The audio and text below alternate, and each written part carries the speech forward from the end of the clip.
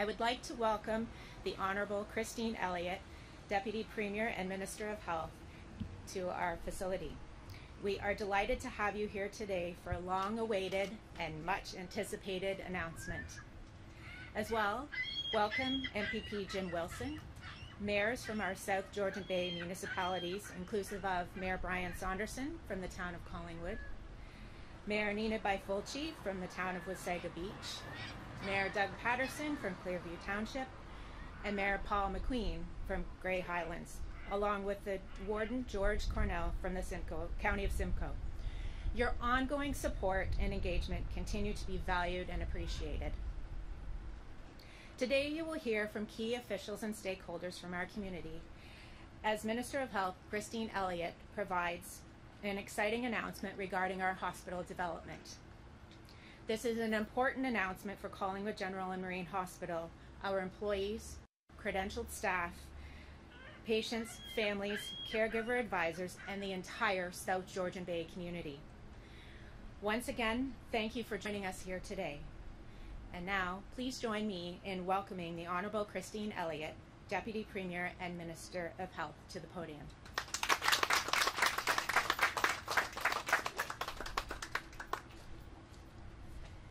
Thank you very much, Leslie, for your kind introduction, and good afternoon, everyone. It is a great pleasure to be here in Collingwood to celebrate some very, very exciting news for your community. But first and foremost, I would like to thank the healthcare staff, leadership, uh, workers, and everyone else here at Collingwood General and Marine Hospital for your heroic response to the COVID 19 pandemic and your commitment to protect the health and well being of all members of your community. From using virtual platforms to support mental health services, to running a COVID 19 testing facility and administering COVID 19 vaccines at the Royal Canadian Legion, you have risen to every challenge with creativity and determination. Thank you for going above and beyond each and every day to provide exceptional care to all of your patients. Now, long before any of us had heard of COVID 19, remember those days? I, I, barely can at this point. But our government did make a commitment to end hallway health care and to build a modern, connected healthcare system that focuses on the needs of patients and families. An important part of that commitment, of course, is ensuring that our hospitals have the resources that they need to deliver high quality care and equipping them to respond to any scenario.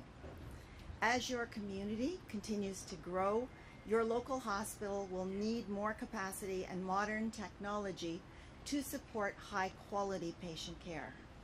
That's why I am very pleased to announce that our government is investing over $15 million to support the planning and design of a redeveloped Collingwood General and Marine Hospital. This is great news.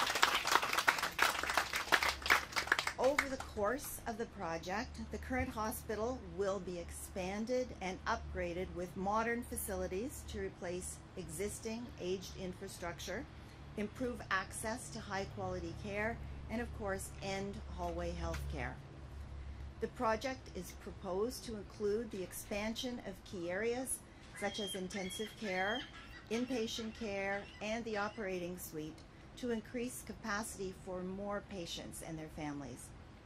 And by expanding the current site, we will be able to maximize existing infrastructure during the initial development and prioritize departments that require immediate upgrades through new construction. Your communities can look forward to a modern hospital that will serve Collingwood and the surrounding area for generations to come. In the meantime, we also know that you need support to continue responding to the pandemic. That's why our government has increased Collingwood General's operating funding for the third straight year. Starting in 2021-22, Collingwood General will receive over $1.9 million in additional funding, which represents a 4.2% increase from last year. This investment is part of our government's plan to ensure that everyone who needs care anywhere in Ontario can and will receive it. I do want to congratulate all of the community partners here in Collingwood and in the surrounding regions who have come together in support of this project. And I also want to especially thank your local MPP, Jim Wilson, for his passionate champion, championing of this project alongside you. And I know that uh, MPP Wilson has invited me several times, uh, including inside the legislature, to come and visit Collingwood. And I'm very, very happy to be able to be here with all of you today and to thank MPP Wilson for all his work done on your behalf. Thank you, MPP Wilson. So together, we are going to build a modern Collingwood General and Marine Hospital and end hallway health care for the residents of Collingwood and surrounding areas. And so I thank you for all of the work that many of you have done to get us to this point. And now I would like to hand things over to Nora Holder, President and CEO of Collingwood General and Marine Hospital, and an incredible advocate for healthcare in your community, to please say a few words.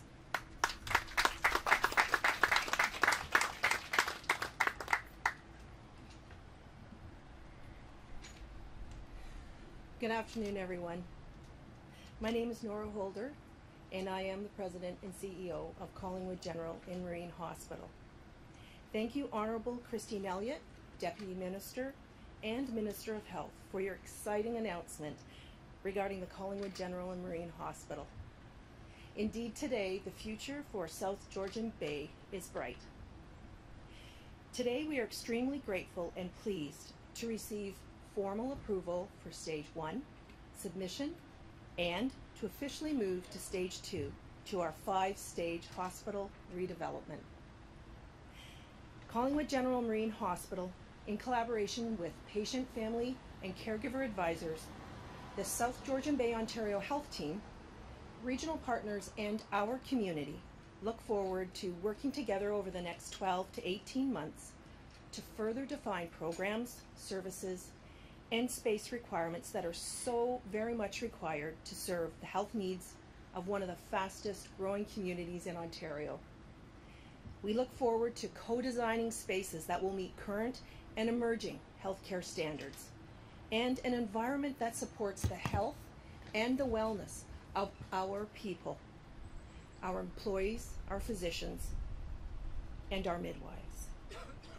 We are thrilled with the prospect of providing our community and our people with a facility that meets the growing needs of our community and provides care closer to home. They deserve this so very much. A hospital redevelopment is a marathon and not a sprint. Today's announcement demonstrates a strong commitment to our South Georgian Bay community. Thank you to MPP Jim Wilson. Thank you, Jim for your tremendous dedication and commitment to our hospital redevelopment.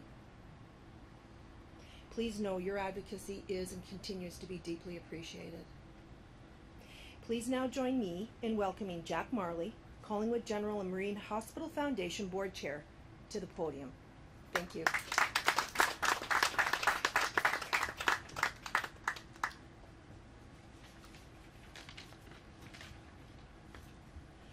Thank you, Nora.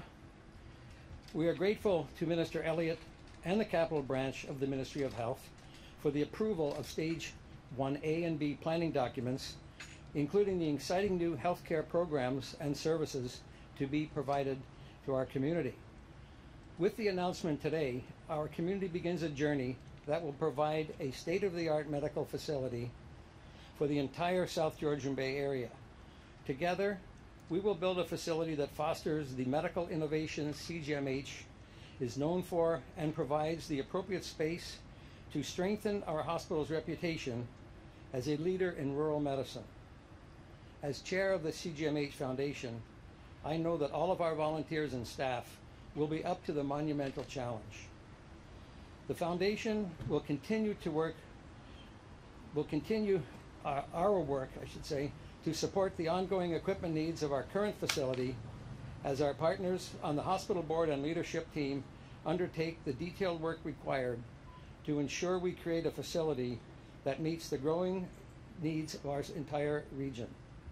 Thank you for celebrating this momentous announcement for the future of all who live, work, and play in all of South Georgian Bay communities. I would like to uh, call on Jim Wilson now to the podium. Thank you.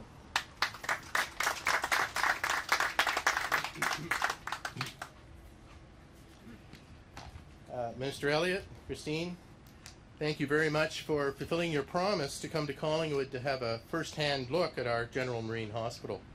It's an historic day for the people of Collingwood and Southern Georgian Bay. We're very proud of this place, our hospital, which has served our community well for more than 60 years. But as you can see, and as you've seen, Minister, the uh, best before date has long since passed. Nora and Dr. Lisi and their dedicated colleagues are doing a great job providing hospital services for the 60,000 residents of South Georgian Bay and the hundreds of thousands of more visitors who uh, are, are tourists to our area each year.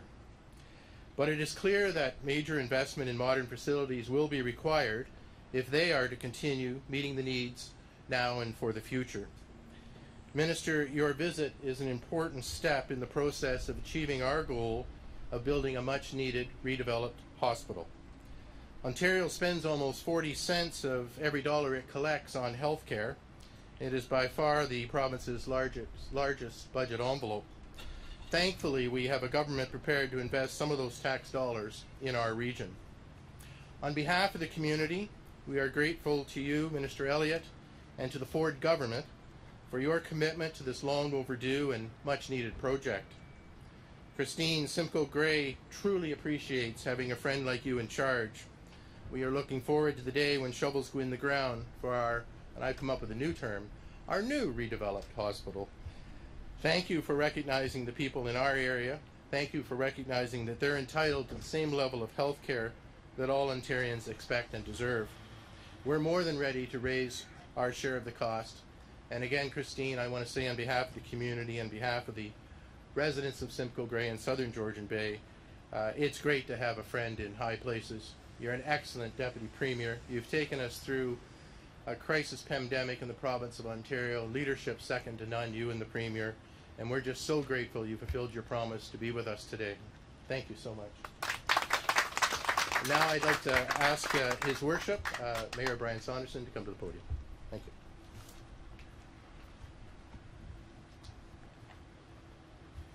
Thank you very much, Jim. Good afternoon, everyone.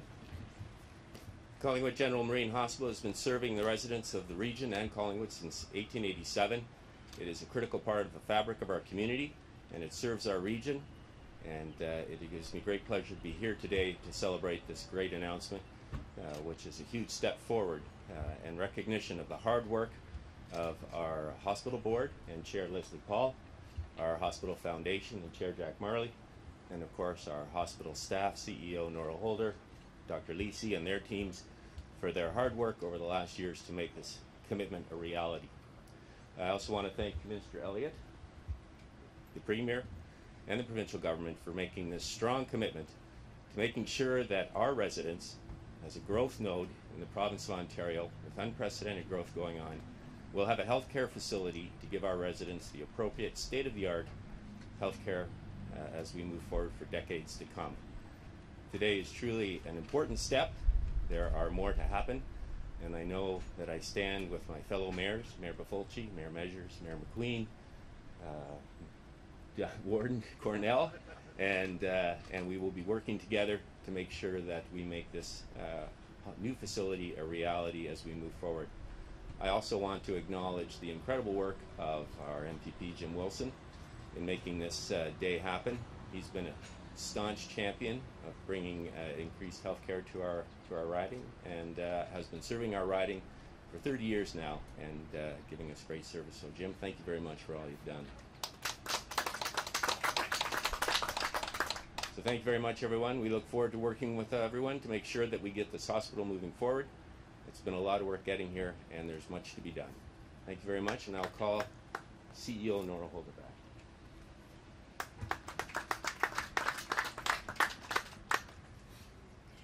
Thank you, Mayor Saunderson, for your remarks. Today's announcement represents a significant achievement for our South Georgian Bay community and for the 3.5 million visitors who pre-COVID visited us and our lovely community each year. We are thrilled to begin stage two of our five stage hospital redevelopment. Thank you to the Honorable Christine Elliott, Deputy Premier and Minister of Health, CGMH employees and physicians, our hospital and foundation board members, Mayor McQueen, Mayor Bifolchi, Mayor Measures, Mayor Saunderson, Warden Cornell from the County of Simcoe for being present today. It is a pleasure to share the great news with you all. Please now join me in welcoming the Honorable Minister Elliott to the podium for the question and answer session. Thank you very much. We'll take questions from the media now. If you have a question, please line up in a single file line behind me. Um, and then when you come to the mic, it's one question, one follow-up, and please say your name and which outlet you're with. Thank you.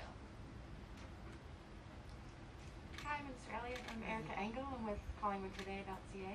Um, my question is regarding the decision to opt for a redevelopment on the current site uh, as opposed to a new hospital built on a different site. Well, I would say, as you as you can imagine, there's been a, a, big demand for funds for healthcare dealing with COVID, and there is only so much money that can be put into capital redevelopment. But this was a really important project, and that's why we're moving forward with the second phase of the redevelopment of the Collingwood uh, General Marine Hospital, uh, and that's why the $15 million is going into the uh, redevelopment and planning. So it's a it's a special project and one that uh, is as uh, long overdue as MPP Wilson said. Um, and in follow-up to long overdue, when do you expect the work to to begin physically on the hospital? When will the building begin? Well, I, I would say that's going to depend on the uh, time it takes for the planning to happen, and I'm sure there's a lot of work that needs to be done, although I understand that there, are some specific ideas about what needs to be advanced. But uh, that, that does take time because it is a, a, a big consideration on a fairly small footprint. Um, but uh, we plan to work together with uh, Ms. Holder and the everyone on the team here at the Collingwood Hospital to uh, work with people at the Ministry of Health to make sure we can move things forward as quickly as possible. Thank you very much. Thank you. Elliot Kamil Karamali with Global News. Um, the Ontario LTC Association joined the Nurses Association and the uh, Doctors Association, once again calling for mandated vaccinations for healthcare workers, for LTC workers. Your government has said that it will always listen to health experts. How can this government uh, now ignore what is such an overwhelming number of health experts in your province calling for mandated vaccinations? Well, I would say there's a mixture of views on that particular subject, and uh, we are not mandating vaccines for anyone, although we strongly encourage people to uh, to take the vaccine. That is a significant uh, protection for you, for your loved ones, and for your community. So that's a position that we're taking. However, we know that many hospitals have already put in place measures to ensure that for those um, healthcare workers that do not receive the vaccines, that they will be tested on a very regular basis to make sure that they are healthy and that their entry into the hospital or wherever their place of work is, if it's a long-term care home, uh, won't jeopardize the residents. So hospitals are already dealing with that, but we aren't proposing to make it mandatory. Uh, this next question is for a colleague of mine, Sean O'Shea. Um, I know you've, uh, so there's once again uh, a local business association that is calling for vaccine certificates um, and proof of vaccination. I know you've said the second dose receipt works, and uh, you've punted the uh, the responsibility up to the federal government in previous responses. But uh, you know, once again, his question is that we know some consumers and businesses are in favor of the idea of having proof of vaccination based on that, and some reluctance on the part of a segment of the population to go into businesses like restaurants. Wouldn't this proof actually be good for businesses and good for the economy? Uh, the second dose receipt is confirmation that people have received the two doses, which has been recommended uh, by Health Canada and uh, is uh, sufficient proof that they have been vaccinated. Once you get into something more than that, um, a, a card or whatever nature that is, then you end up with all kinds of other considerations about production, about um, fraud prevention, of course. We're now getting rid of the red and white Ontario OHIP cards for some of those reasons. Those problems would occur with respect to a smart card as well. So I think there's a lot of work that still needs to be done on that issue. But in the meantime, people do have their proof of vaccination in the receipt that they receive after their second vaccine. basically the same question, but we've, we've talked to, City News has talked to um, public health professors, we've talked to uh, all of the people on the science table, and they all agree when it comes to vaccine certification, to enter a non-essential business should be used. Um, the framework plan should not come from, or should come from the provincial government rather than private enterprises creating their own rules and regulations. And as cases rise, why don't you have a, a certificate you can just show a person going into a restaurant so vaccinated people can go into a restaurant together and maybe that would help that 20% of the people merge into the vaccinated area um, Mhm. yeah Well, there is already the certificate that people receive indicating that they've had two doses and they're considered to be fully vaccinated. That is something that some businesses are requiring for some of their workers, some uh, restaurants. Others can do that if they wish to do so, and that is something that uh, we are encouraging people to do, of course. We've also changed some of our reporting starting today, which indicates uh, both the number of cases that are out there, but also the number of people that are hospitalized and the number of people that are in ICUs, and showing whether they're vaccinated or non vaccinated. The vast majority of cases, it's people who are not vaccinated. So I think that it, it speaks for itself the uh, the need for people to be vaccinated to uh, to protect themselves and their family and their and their whole community. That's how we reach that uh, immunity that we're all looking for, and that's how we uh, defeat the uh, the Delta variant as well. But the uh, province of Ontario we already have vaccination certificates that are distributed by the Ontario government our yellow immunization cards that children have to get are monitored and kept by the provincial governments. So why are we trying to punt this to the federal government or put it onto private businesses when we already know the vaccinating statuses of people in Ontario are already monitored by the Ontario government? Like in order to, for little Johnny to go to school, you have to show that vaccination record. Yes. Well, the um, the issue of I think there, there's a couple of issues here. One is a vaccine passport, which is a different item, and that is something that is properly in the realm of the federal government to deal with because it will involve international travel and, and other issues. But in terms of the in terms of what's happening within Ontario, that is uh, we up to the businesses to determine whether they want to see proof of vaccination from the people that are working from them.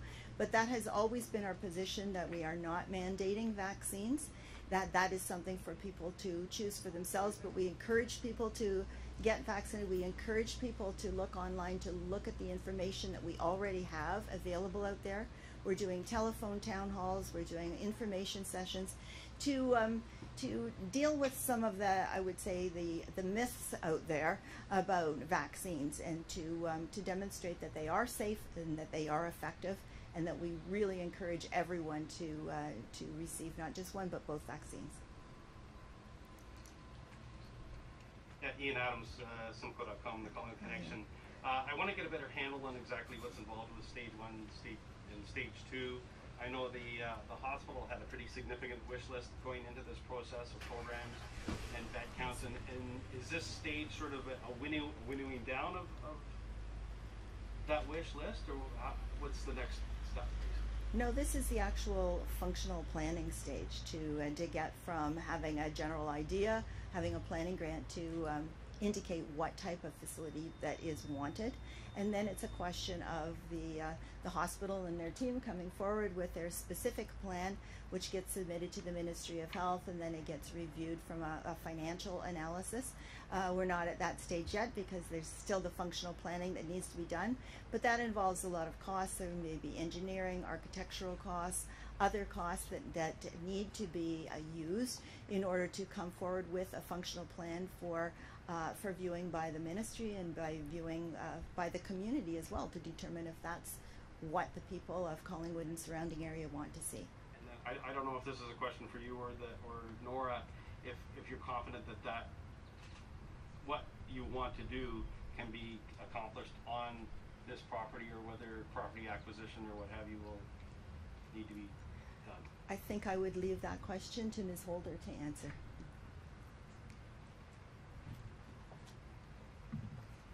Thank you, Minister Elliott. Um, stage two will uh, also be an opportunity for us, Ian, to take a look at the uh, services and programs that we've already, during stage one, determined were essential and needed here. And so until we determine the services and the programs and then finish the functional planning in terms of what the size and the needs of those spaces are, uh, really can't comment on the space yet. So for me, right now, it's about the verifying the programs and the services, taking a look at what the space is, and then we can take a look at okay, where, what is that? What is it that we need um, in terms of land, etc. Um, what can we build uh, in relation to that? So stage two uh, will probably define that better. So um, I would not want to be premature in saying anything else but that, and I hope that's helpful. And we're gonna take one last question from the floor. So Rob Cooper with CTV News. You can stay there if you don't mind. Um, so I'm trying to understand, will this building get bigger? Is there going to be a bigger footprint? I mean, is that your initial plan right now? So the initial plan was to uh, create um, a footprint that is at almost almost three times as big to meet these standards, and this was pre-COVID. So now we have uh, COVID, and uh, there will be new and emerging standards uh, that will uh, definitely impact uh, what the size and the footprint will be. Uh, and so I hope that answers your question, Rob. Yeah, I'm just trying to understand though. I mean, I, I know it's it's early for you to try and say where you're going to go or what exactly you're going to need, but again, just the size of this. What can people who live here should they expect construction working on the hospital while they're coming here? I mean, is there going to be in addition more brick and mortar? You know what I mean? So the approval was uh, to move forward with stage two uh, in terms of redeveloping the hospital and adding on a new part to the hospital as well.